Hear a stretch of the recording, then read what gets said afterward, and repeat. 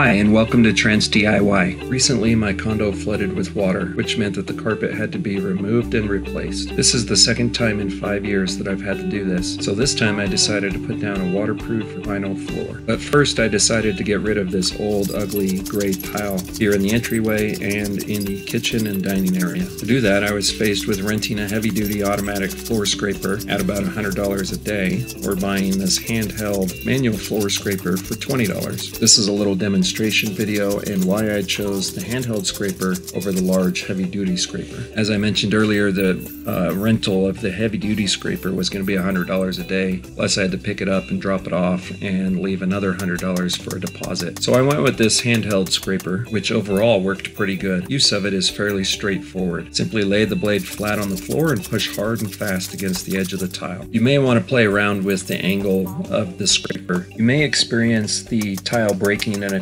tapered edge where the scraper then rides up and over the tile instead of going underneath it. When that happens, I just used a hammer to break up the tile a little more and then went back to the scraper. For a $20 scraper, this worked great for a small kitchen and dining room, which was about 150 square feet combined, plus this entryway. However, using it did wear me out and I had to take several breaks. Adding up just the actual work time, it probably took about two hours to get all of the tile out of the kitchen and dining area and it took a little over six minutes to remove this entryway, uh, which I sped up to spare you five minutes.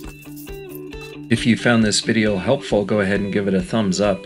If you would like to stay updated on my DIY projects, go ahead and hit that subscribe button. Thanks for watching.